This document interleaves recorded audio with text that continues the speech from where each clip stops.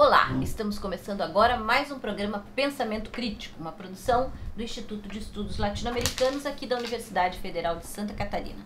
E no programa de hoje vamos tratar do tema Violência e Capitalismo.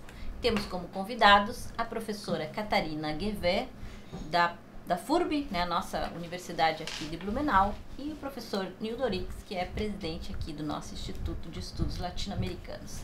Eu começaria uh, uh, conversando com você sobre o, a questão da violência, lembrando aí Marx, né, que fala que a violência é a parteira da história. E nós estamos vendo hoje aqui no Brasil uma gritaria geral, né, contra esse processo de violência. Existem vários tipos de violência, existe só uma violência. O que, que vocês têm a me dizer sobre isso? Professor Nildo. Bem, ainda que possa parecer doutrinária, a violência sempre é uma violência de classe.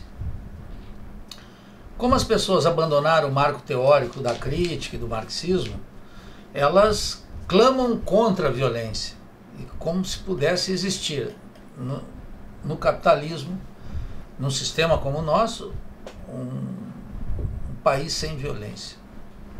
Violência é constitutiva do sistema e ela tá, tem sempre uma orientação de classe.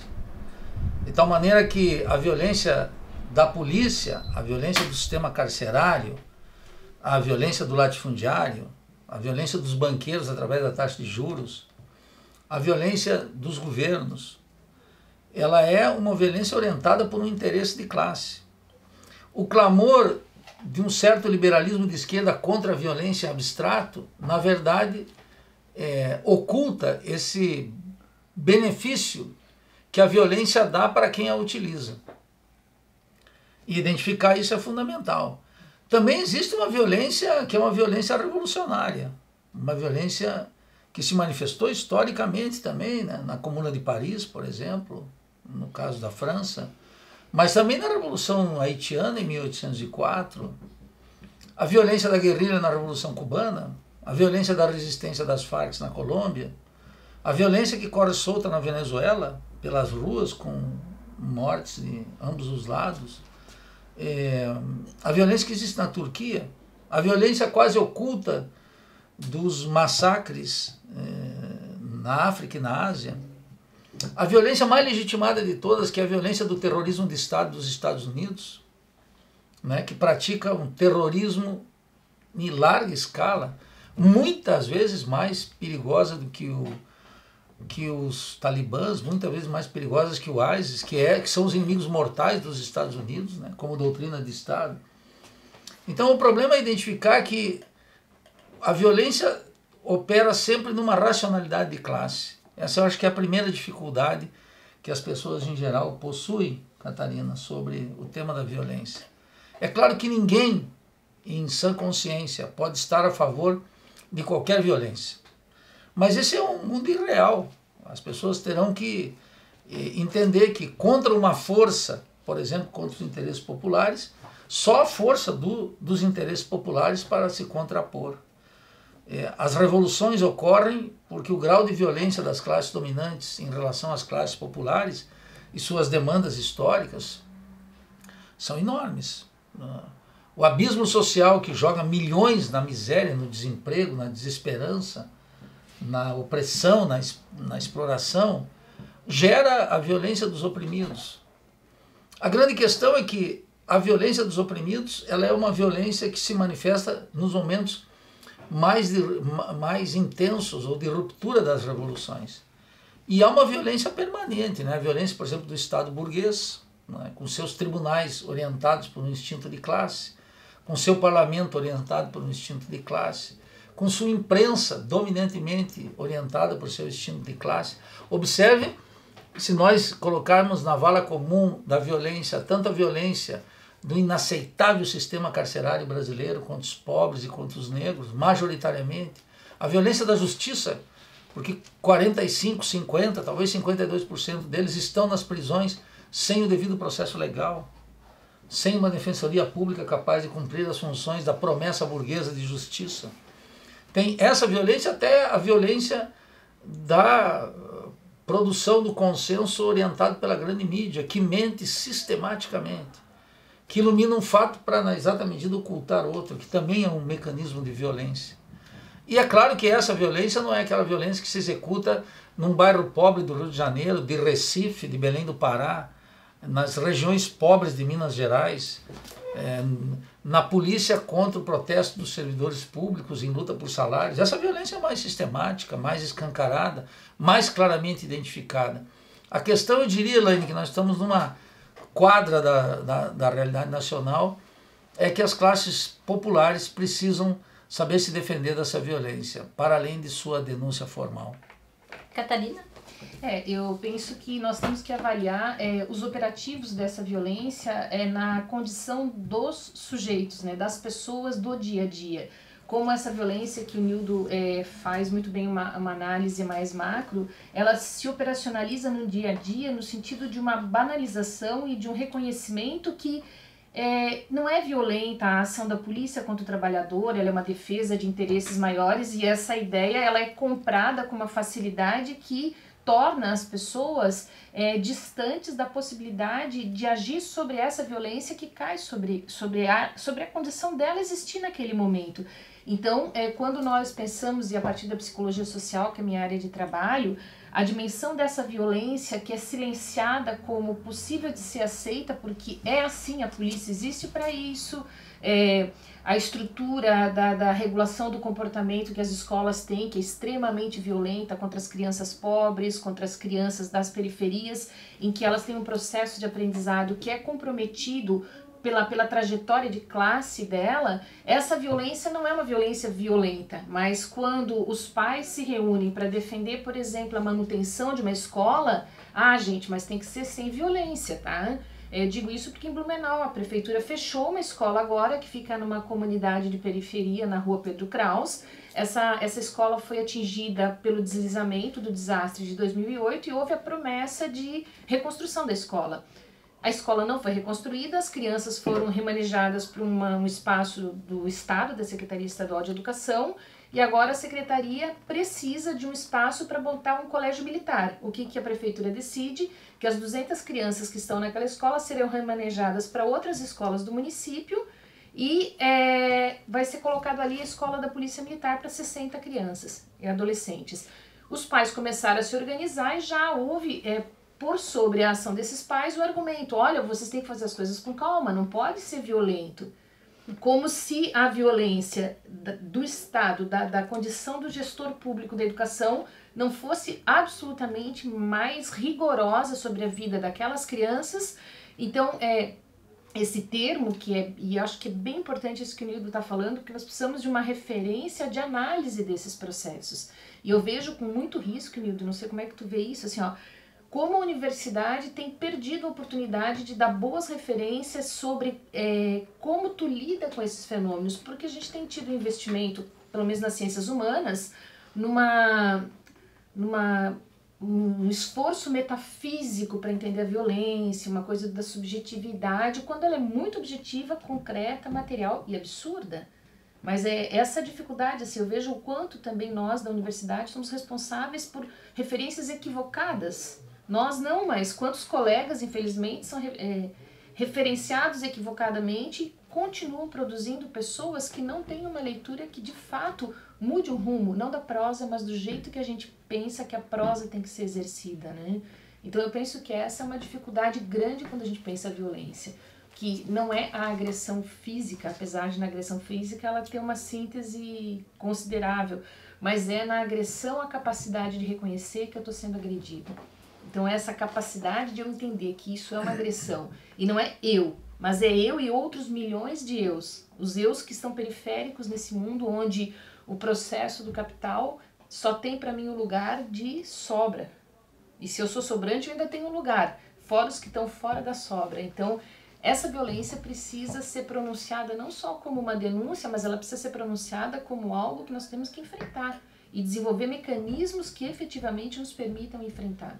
Eu, particularmente, tenho pensado que um dos grandes mecanismos passa sim pelo processo da educação e uma educação com referências fortes dentro do pensamento marxista. E aí vem todo esse combate da escola sem partido, e se você fala é, de um pensamento marxista, você é ideológico, como se o outro lado não tivesse uma posição igualmente ideológica, né? Então eu vejo que essa violência que vem disfarçada de ordem, ela é extremamente prejudicial para a vida da sociedade como um todo, né?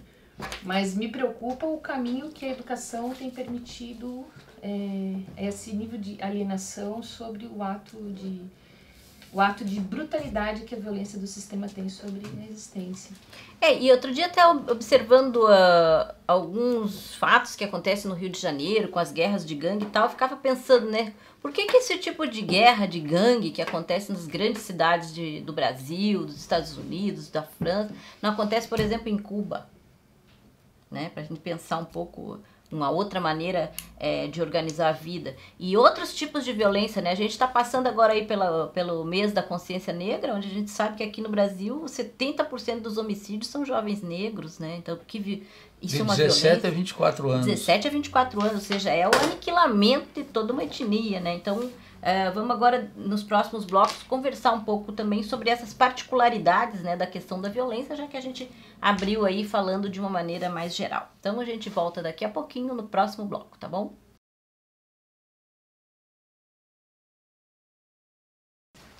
Voltamos então com o nosso programa Pensamento Crítico, hoje com o tema Violência e Capitalismo. E falávamos aí no bloco anterior sobre por que, que esse tipo de violência pontual, como a gente vive aqui no nosso país, de crimes, de assassinatos, de extermínio de jovens negros, de briga de gangues nas capitais. Por que, que isso não acontece em Cuba? Né? Que seria um outro modelo de organizar a vida? Seria o melhor modelo? Acho que a gente poderia pensar um pouco sobre isso, né? Podemos começar contigo, Catarina.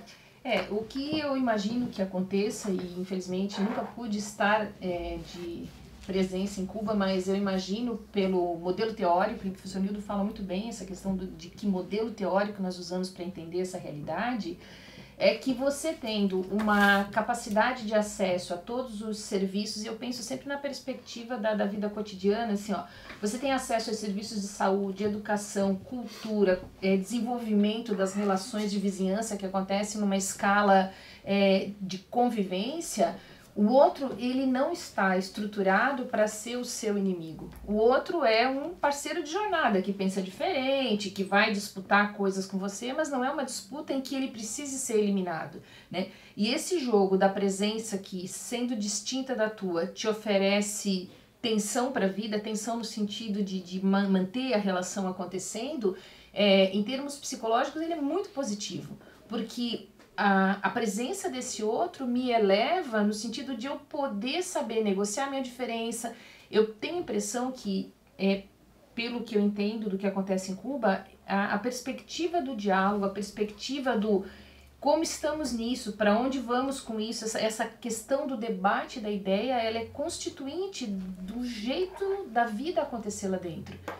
O que acontece no nosso dentro aqui é que estamos todos esvaziados dessa conectividade existencial, assim, somos o que podemos consumir e nesse limite do consumo eu vou e, e tiro do outro se eu não tenho para mim e vou ser punido pelo Estado, que é como o Nildo diz, né, tem uma, uma intenção de classe muito bem é, constituída e isso faz sobrar é, um volume de pessoas que é, de fato precisariam de estratégias outras que não as estratégias da autoajuda, é bom que se diga isso, né? Não se tem aqui um, um tutorial, agora vamos ver como resolvemos a vida, não é isso.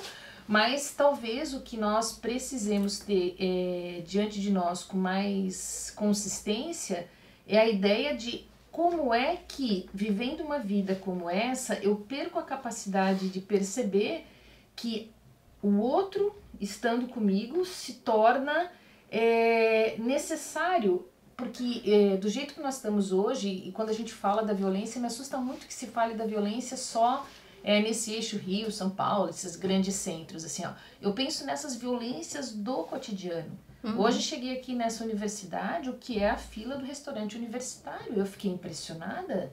Isso é uma violência contra o tempo contra a saúde contra a integridade da pessoa e aí eu fiquei pensando, uma fila desse tamanho me conta que tem restaurante de menos para gente de mais. E como é que você tem tanta gente e não tem um recurso aplicado numa condição e, são pessoas numa situação que eu digo especial dentro do processo de produção da vida, que estão se preparando para um ciclo de, de fazer a vida existir, que não me parece. Eu fico pensando no dia de chuva, o que acontece com essas pessoas. Isso é violento.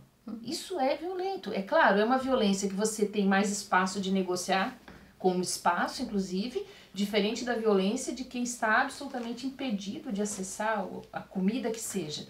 Mas é, eu imagino que você resolver essa ordem de, de coisas operativas do dia a dia é importante para que a gente possa estabelecer de novo a noção que a presença do outro diferente de mim, ela é absolutamente necessária para que eu possa ser, para que eu possa existir.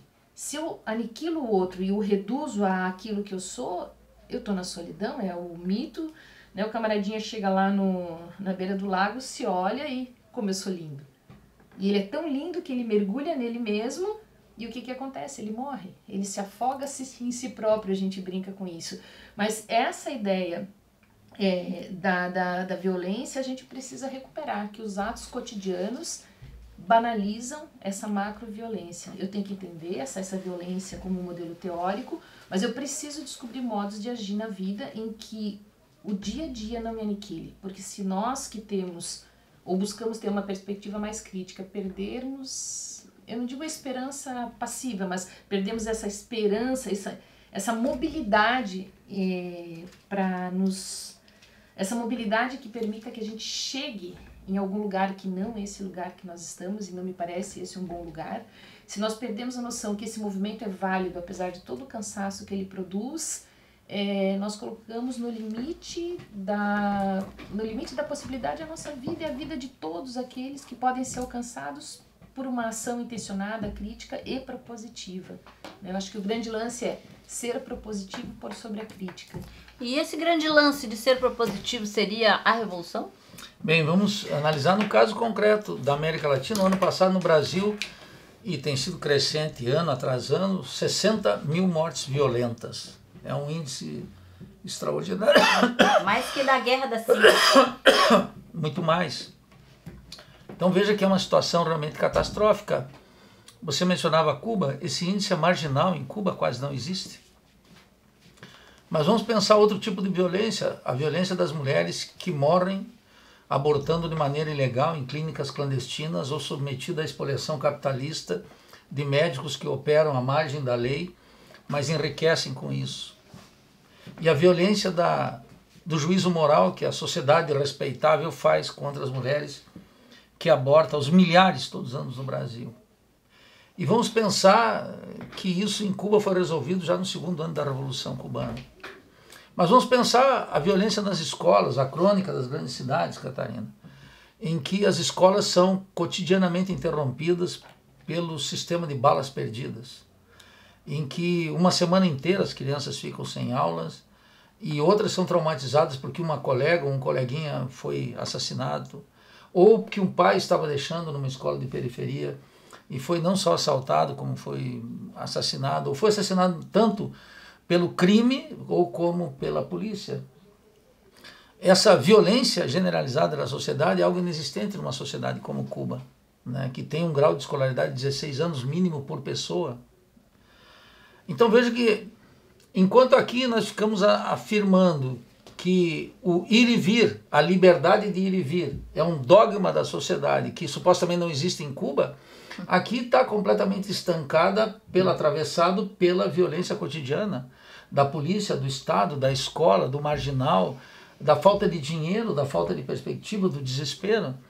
Então, se afirma um dogma que essa sociedade é melhor que aquela, mas quando vamos observar os direitos humanos fundamentais, observamos que naquela sociedade, fruto da Revolução Cubana de 59, um conjunto de conquistas sociais estão estabelecidas há muito tempo e que aqui no Brasil não há o menor vestígio de que isso possa acontecer e, ao contrário, as pessoas incorporaram isso como um dado da realidade imutável, incapaz, uma utopia absurda, irrealizável, não no sentido de de uma utopia concreta, mas irrealizável e até demagógica se algum político propor uma sociedade sem violência e, portanto, teríamos que atacar no cerne a origem da violência.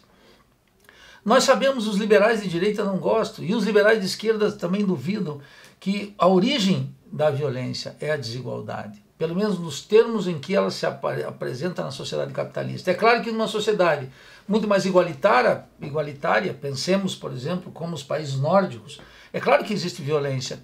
Mas é claro que esses críticos que dizem que não é um problema da desigualdade sabem que o percentual de violência na Dinamarca, ou na Holanda, ou na Finlândia, para usar três países, é infinitamente superior a qualquer país da periferia capitalista. E é claro que, mesmo numa sociedade opulenta como os Estados Unidos, mas com alto grau de concentração da riqueza, a desigualdade está marcada lá dentro dos Estados Unidos. Por exemplo, a violência do racismo dentro dos Estados Unidos ou no Brasil não tem a menor comparação com o enfrentamento do racismo na sociedade cubana. É. Ainda que exista gente no movimento negro que fica indicando com um dedo arrogante, cheio de desconhecimento, a realidade do negro na sociedade cubana. E que não conhece a realidade peruana, e que não conhece a discriminação na Guatemala, no Peru e na Bolívia para o indígena, e que ignora a violência aqui contra os negros no Brasil. Essa é uma violência também cotidiana, Catarina, Sim. que come solta e que estrutura o sistema e que tu não vê em Cuba. Então é claro que nesse sentido eu te responderia afirmativamente. A revolução abre as portas de soluções que nós estamos incapacitados de tê-las dentro do sistema capitalista. Incapaz. Nos países centrais e menos ainda nos países periféricos. Agora é claro, se esses pós-moderninhos, alegrinhos que nós encontramos dentro da universidade, que tem sido um pântano da ignorância. Porque eu me espanto, você tocou o tema da, da, da, da, da papel da educação uhum. nisso, é que o ensino universitário, Catarina, ele tem uma capacidade de banalização de temas que eu não encontro no sindicato, que eu não encontro na associação de bairro, que eu não encontro nos partidos políticos que não têm uma grande vitalidade em suas vidas interiores.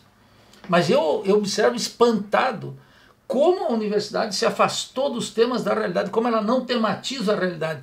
E na medida em que ela não tematiza a realidade, ela se encanta com a pauta do pós-modernismo, com as quinquilharias intelectuais e a irresponsabilidade dos programas, de seus orientadores, dos professores, dos conteúdos programáticos, que estão cada vez mais afastados da vida real. Incapazes, portanto, de entender não só a violência, como qualquer outro fenômeno cultural, político, econômico, social histórico é espantosa a situação da universidade nesse sentido. Ela não faz isso, ela se afasta disso, como o diabo se afasta da cruz.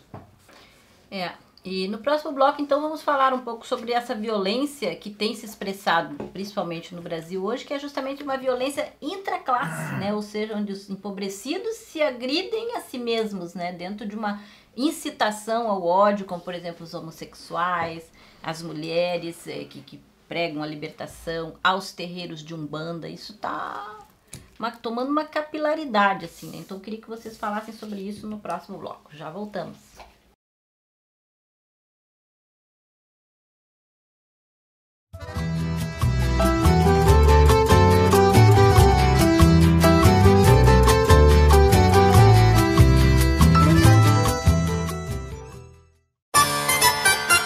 Juana Azurduy Bermudas foi uma importante revolucionária latino-americana, lutando pela libertação do Alto Peru, atual região da Bolívia e norte da Argentina. Educada para ser freira, foi expulsa do convento aos 17 anos, por seu comportamento rebelde. Se casou aos 25 anos com Manuel Ascenso Padilha, em 1805. Com ele, se juntou aos rebeldes durante a Revolução Libertadora em Chuquisaca. Entre 1813 e 1817, se integrou a um grupo guerrilheiro na luta contra a Espanha, em 1825, se encontra com Simão Bolívar, que lhe confere patente de general. Possuía origem indígena, sendo chamada pelos índios de Pachamama. Hoje, é reconhecida como a verdadeira libertadora da região.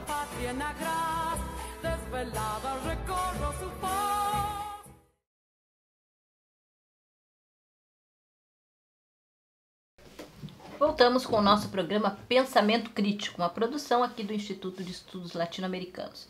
E hoje com o tema Violência e Capitalismo, com a presença da professora Catarina Guever, da FURB e do professor Nildorix. E falarmos então sobre essa violência que vem sendo uh, acontecendo de maneira muito forte no Brasil, que é essa violência intraclasse mesmo, né? Já falamos sobre a violência do Estado, sobre a classe trabalhadora, os oprimidos, etc. Mas hoje nós estamos vendo dentro eh, da classe trabalhadora, dos oprimidos, eh, essa agressão contra os homossexuais, contra os terreiros de Umbanda. Queria que vocês falassem um pouco sobre isso. Quer dizer, na verdade, é um fomento dessa violência que é uma tentativa talvez dividir ainda mais essa classe tão já tão fragmentada? Bom, pegamos o caso então das religiões afro-brasileiras. Sempre foram combatidas, desde sempre combatidas. As religiões afro-brasileiras sempre foram objeto de escárnio, de ridicularização e, e de repressão aberta, para dar um exemplo. Né?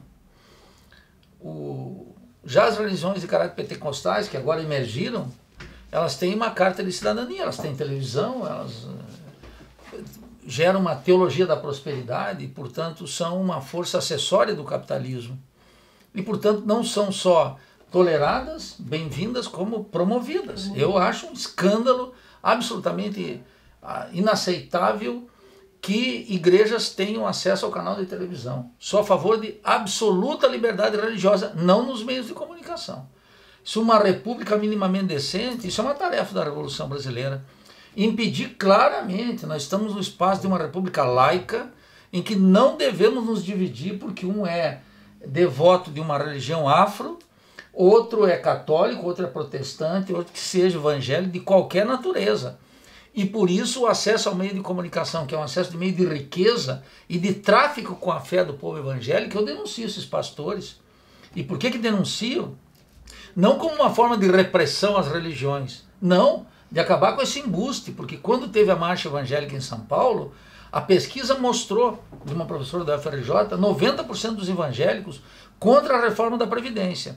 E os pastores evangélicos, deputados, essa gente que anda por aí traficando diretamente com a fé e o sofrimento do povo evangélico, votando pela supressão da Previdência.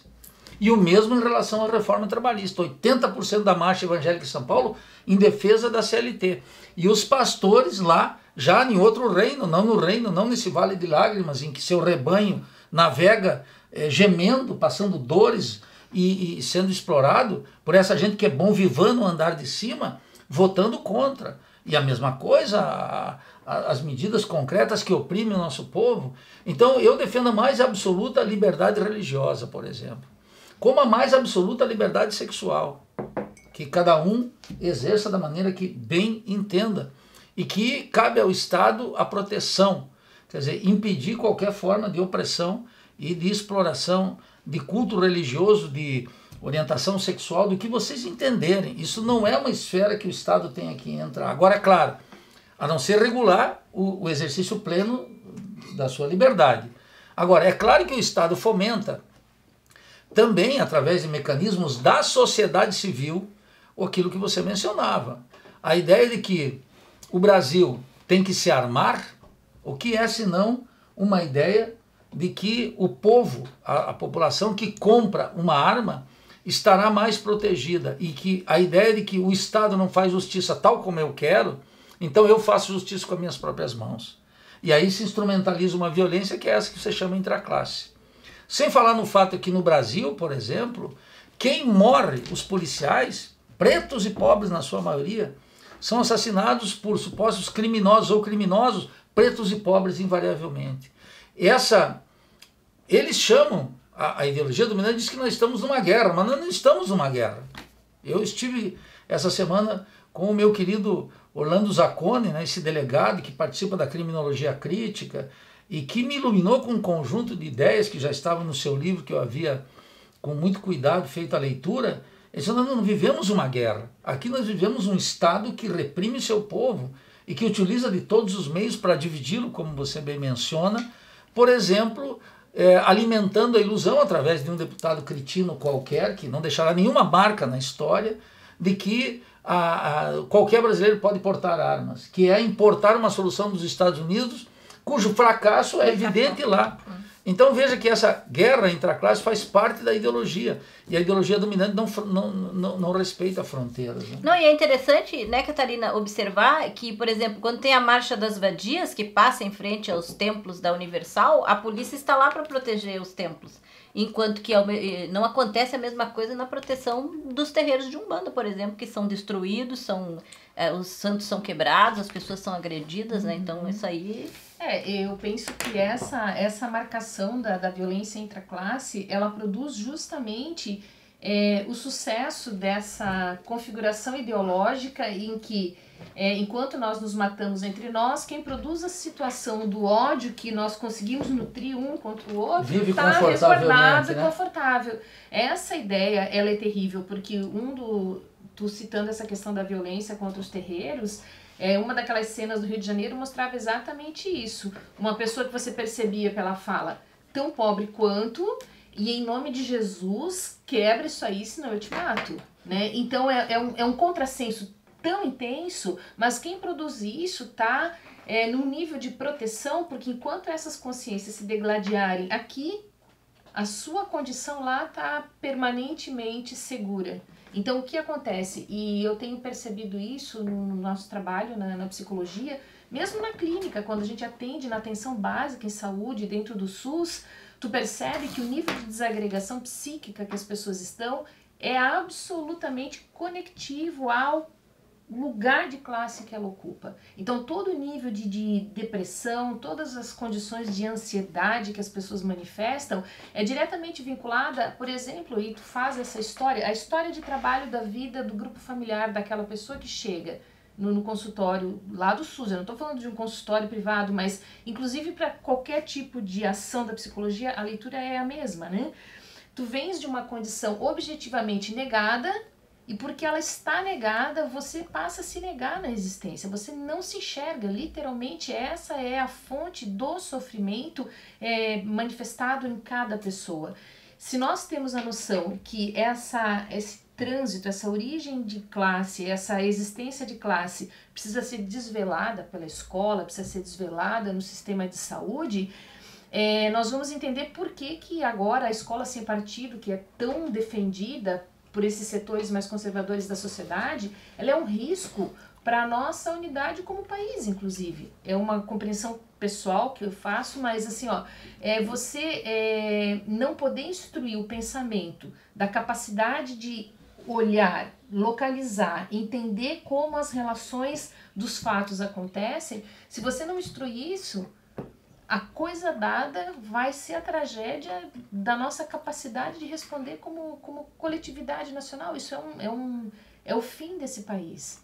É o fim desse país porque eu penso que é o fim de qualquer país que não se percebe, que não se enxerga. O modelo que eu digo, ah, é o fim desse país, é o mesmo modelo assim, quando uma pessoa singular não se entende dentro da própria história, a mesma condição que leva ela a não se entender dentro da própria história é a condição que pode fazer um país se destruir. Ou pode fazer um país se elevar, como é o caso de Cuba, quando você tem em Cuba toda a possibilidade de pensar o que te acontece. E, inclusive o nível de transgressão ou o nível de comprometimento psíquico que você tem, por exemplo, dentro, do, dentro da sociedade cubana hoje, é, se você olhar na afetação mental, é, os casos são bem mais tratáveis, vou dizer assim, do que se você pegar a nossa realidade local aqui, do sul do país, pelo menos, né? Mas eu penso que talvez uma das coisas que a gente deveria ainda é, colocar em atenção sobre a questão da violência é como persevera esse ato violento intraclasse e da gente conseguir pensar um sistema, eu penso a partir da juventude. Quando você tem a juventude é, fazendo os movimentos é, de orientação de gênero, quando você tem a juventude fazendo os movimentos por cultura, por educação, os jovens estão se movendo e é bem interessante que eles não tenham acesso a uma consciência que de fato seja crítica. E aí vem essa, essa hipertrofia da pós-modernidade em que você não consegue entender que o seu fazer podia mudar de maneira decisiva a história, você passa a ser só mais um operador. Então eu penso que as religiões de matriz africana, inclusive, para fechar essa parte, é, elas mostram uma coisa, quando a tua relação no teu terreiro, no teu sagrado, é uma relação de comunidade, quando tu estás presente com o teu outro, quando você faz um sacrifício de animal que, com todo respeito aos vegetarianos e veganos, não é sacrifício no sentido daquele sacrifício que o capitalismo nos impõe quando a gente tem que ir no mercado comprar alguma coisa, mas aquele frango que é morto no ritual, ele tem um lugar sagrado para alimentar aquela comunidade e você tem noção de todo o processo que acontece para você ter o alimento no seu prato, você necessariamente tem pessoas que são mais autorreferidas. E ali você vai ter mais dificuldade de fazer o que, por exemplo, as igrejas neopentecostais têm feito, que é feito é, é pegar você e tratar é, o seu cérebro como se fosse uma massinha de algodão onde você pinga uma cor e ele vai ser exatamente aquela cor. Então, é, as religiões de matriz africana trazem no campo do sagrado a dimensão comunitária e na dimensão comunitária a possibilidade de reorganização das relações com a vida.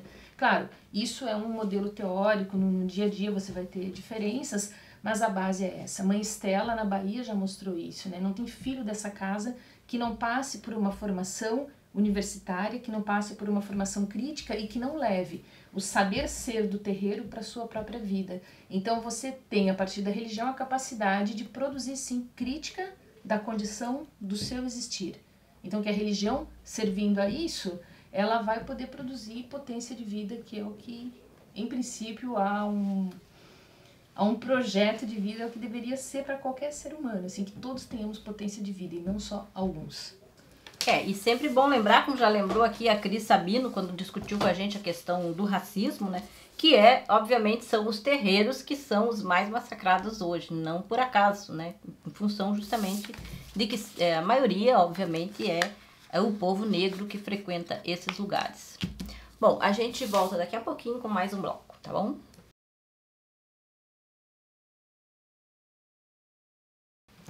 Voltamos com o nosso programa Pensamento Crítico, uma produção aqui do Instituto de Estudos Latino-Americanos.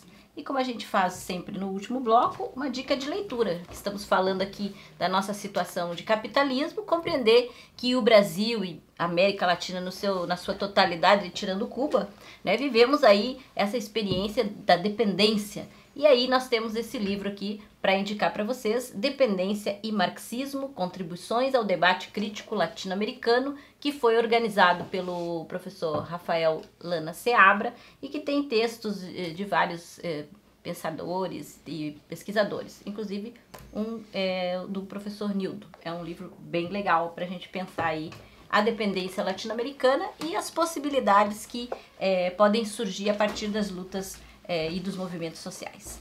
E nesse último bloco, então, já que falamos de violência e capitalismo, vamos apontar agora alguns elementos né, que podem fazer com que, como é que os de baixo né, possam vir é, também com sua luta nessa contra-violência, né? Se isso é possível, se está acontecendo no Brasil, ou se o que a gente está vendo mesmo. Me parece que a, as pessoas estão muito. É, prisioneiras dessas notícias ruins, né? Todo dia tem uma história, é um terreiro que foi agredido, é um homossexual que foi assassinado, uma mulher que foi assassinada. Então parece que nós estamos indo um ladeira... operário, um camponês, um indígena, né? É, as notícias são sempre terríveis, né? Mas é, também existe uma movimentação contra isso, né? Eu queria que vocês falassem sobre isso nesse último bloco. Catarina. É, a produção do medo, ela tem um papel muito efetivo, né? E as notícias ah, ruins, elas alimentam esse medo que faz qualquer um de nós é, duvidar do sentido da existência, inclusive. Então, essa produção do medo, é, eu imagino que ela precise ser enfrentada. E por que, que eu digo que imagino? Porque nós tivemos um ciclo forte de reorganização dos movimentos populares dentro do Brasil, mas que infelizmente é, veio num retrocesso a partir é, do governo Lula. E é, eu imagino que nós tenhamos dificuldades de recompor as tramas do movimento social. Acho que o grande desafio agora é a recomposição do movimento social, é a recomposição de organizarmos coletivamente é, o processo da mudança. Então, não é mais que agora a gente pode enfrentar é, esse tipo de situação com ideias brilhantes ou com tutoriais do YouTube. Na verdade, não existe uma fórmula e existe um caminho. É, eu tenho impressão, né, Nildo Elaine, que o caminho é o caminho da retomada da experiência coletiva e comunitária, que o nosso modelo não seja um modelo tão, é, tão gigantesco que nós não consigamos saber onde ele começa e onde ele termina, que nós precisamos retomar a dimensão do comunitarismo. Né? Nós temos um movimento, inclusive dentro da psicologia social latino-americana, que vai falar do comunitarismo. O comunitarismo ele é desafiador, inclusive, para os processos de produção. Me lembra aqui o professor Klaus Germer, da UFPR, sempre insistindo: ah, esse modelo da economia familiar não é possível. E aí ele fazendo esse debate. Mas ainda é, a noção de que somos muitos e precisamos descobrir formas de é, fazer que esses muitos que nós somos é, sejam, sejam formas possíveis sem é, destituir completamente o meio ambiente da sua condição de sustentar a nossa vida, sem destituir as minhas relações com os, os meus contemporâneos para é, construir, por exemplo, a possibilidade das hortas comunitárias, para construir a possibilidade de que a vida é possível na presença do outro. O outro me inaugura, se a gente quiser até brincar é, de fazer literatura com isso, é a presença do outro que me traz como um existente possível. Então, dentro da psicologia social da América Latina, o comunitarismo tem sido um caminho que nós entendemos como é, o caminho pelo qual é, nós diminuímos a escala sem parar o processo. Nós não fazemos a escala é, no sentido de pensar que a vida só é possível produzida nas grandes plantas. A vida tem que ser possível para além disso. Não que nós vamos desprezar toda a tecnologia, toda a ciência, todo o agregado de conhecimento que no bojo do capitalismo os trabalhadores fizeram existir, mas que nós precisamos retomar uma cultura da presença, uma cultura da convivência, uma cultura de bons encontros para fazer a vida existir. Né? E é contra esses bons encontros que o movimento, eu percebo, que vem aniquilando a violência que você falava no bloco anterior, intraclasses, é que os encontros não podem mais ser bons encontros. Isso aqui é um bom encontro. Quando a gente pode conversar, quando nós podemos compartilhar expressões do nosso pensamento, isso é um bom encontro. Um bom encontro pode ser a preparação de uma grande comoção social, que eu tenho a impressão hoje que é o que poderia começar a mostrar um caminho novo para o nosso país.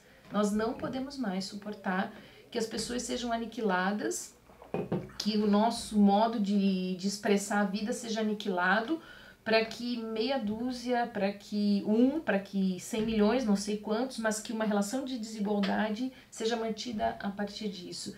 Então, superar a desigualdade dentro de um modelo comunitário é, me parece ainda é uma solução possível. É a melhor? Eu não sei se é a melhor. Mas é uma solução que já mostrou em alguns lugares do continente que isso é muito possível. O movimento das mulheres agricultoras é pela preservação das sementes. Ali você tem um movimento comunitário muito forte que a Monsanto não vai pôr a mão, apesar de se esforçar todos os dias para isso. Então, a preservação dos saberes ancestrais, a preservação das, das culturas ancestrais, é, dos manejos ancestrais da própria terra é garantia da gente saber que se o caminho ainda não está feito, a gente não perdeu a força para poder botar o pé lá e dar o passo. Nosso passo tem que acontecer pela via da presença e de uma presença que articula criatividade e proposições. Bem, eu acho que as formas comunitárias e as formas comunitárias originárias, elas permitem um espaço de convivência do outro, como define a Catarina, mas, e aí talvez a, a observação do nosso querido Klaus Germer, né, ela é incompatível dentro do sistema capitalista. Então, as formas comunitárias terão que ser resgatadas por um projeto socialista.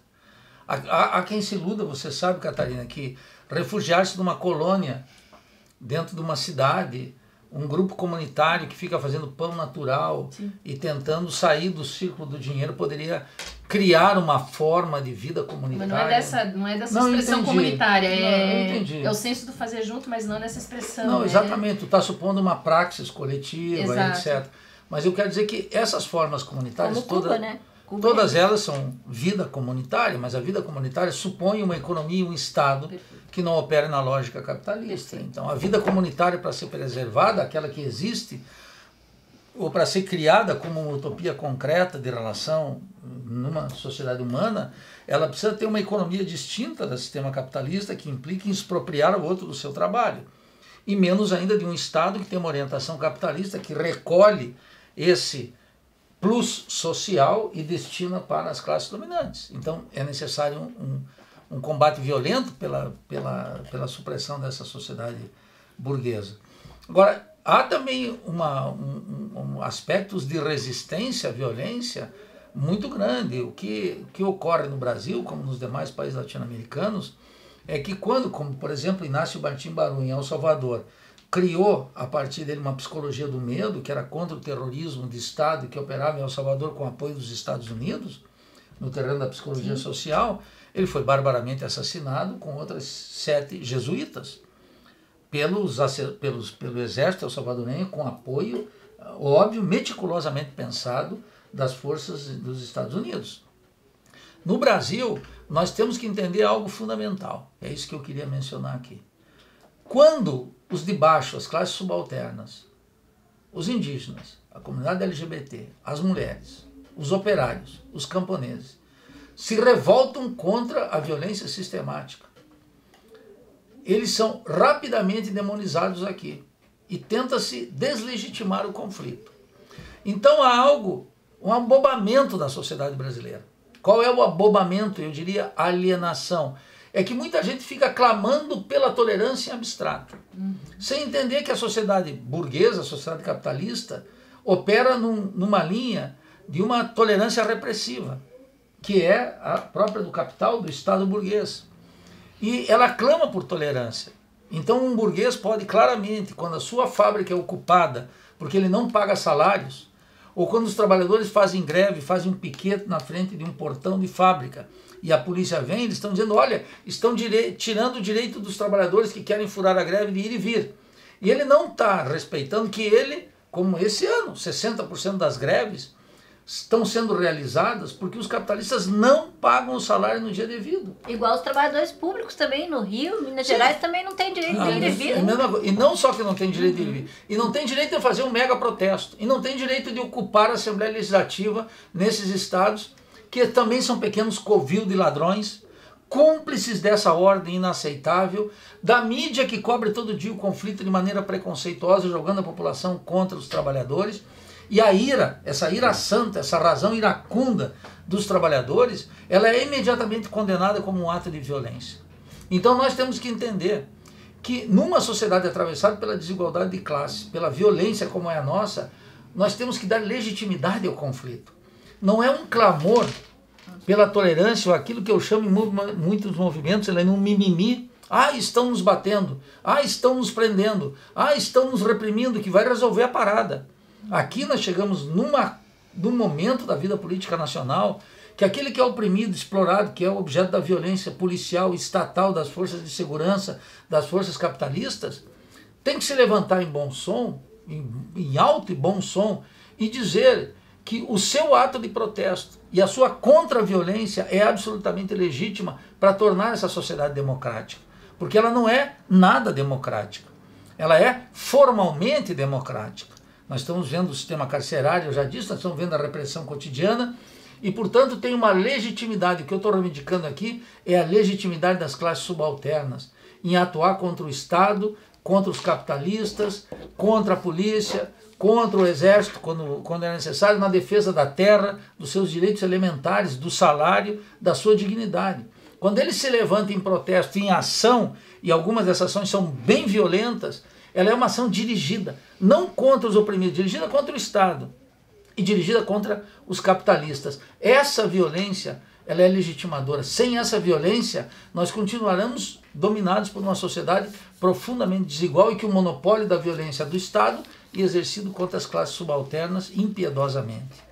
É, e essa luta contra essa sociedade da exploração, ela tem que ser mesmo internacional, né? Só para lembrar aí o que tem acontecido agora com esses episódios é, das guerras que estão sendo fomentadas lá no Oriente Médio, é, de notícias, por exemplo, de pessoas sendo vendidas né, como escravos, os líbios, por exemplo, né, que a gente vê aí, quer dizer, é, o, é o, a barbárie humana acontecendo. Isso só acontece num sistema de exploração, né, de exploração do outro, do trabalho do outro. Então, esse é o sistema que tem que morrer. Bom, o programa de hoje termina por aqui, a gente volta, tá bom? Tchau, obrigada aí.